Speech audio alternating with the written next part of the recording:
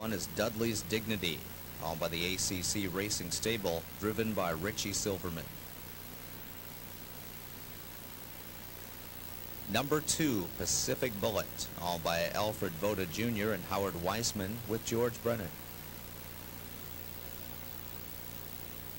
Number three is Armbro Roadrunner, Cat Manzi driving for Vassalou, Tallarico, and the Nothing More stable. Number four, Ruckus Hanover, Ron Pierce up for Fodera, Easer, and Weinig. Number five, the FS Stars Stables Draft Choice, Jim Morrill Jr.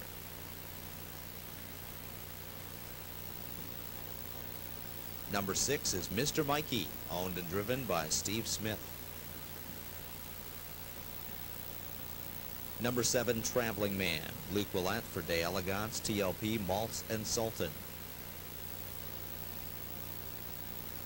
Number eight, Bred to Run, owned by the CJM Stables with Mike LaChance. Number nine, Ryan Daly's Zach Bloom with Ledford. And number 10, Darkness Comes, owned by Gary and Debbie McLaughlin. Dave Miller is in the sulky. Pacers lined up and heading toward the start.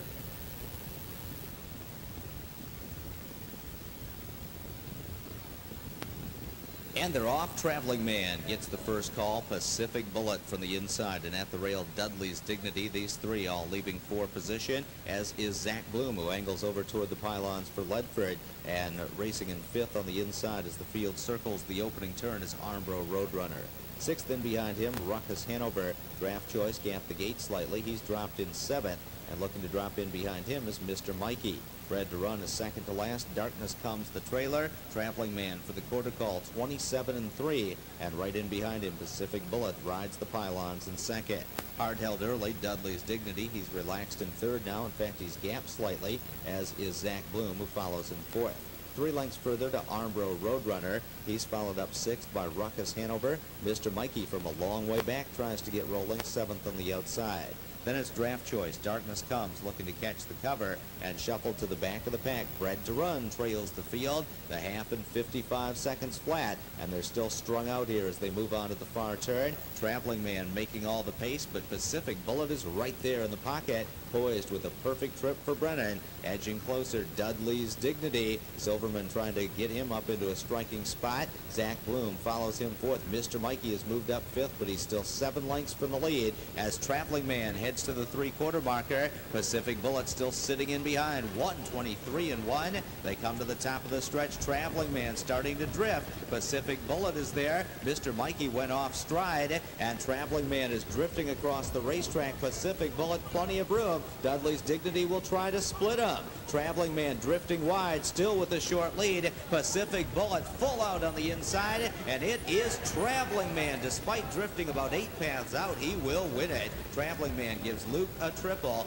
Tight for second between Pacific Bullet and Dudley's Dignity. 151 and 3 for leading driver Luc Ouellette as Traveling Man scores. He's now won three of his last five starts.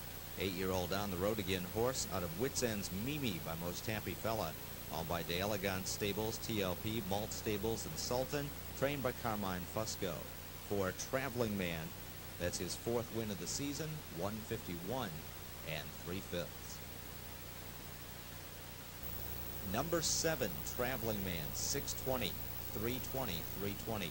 Second, number two, Pacific Bullet, 380, 320.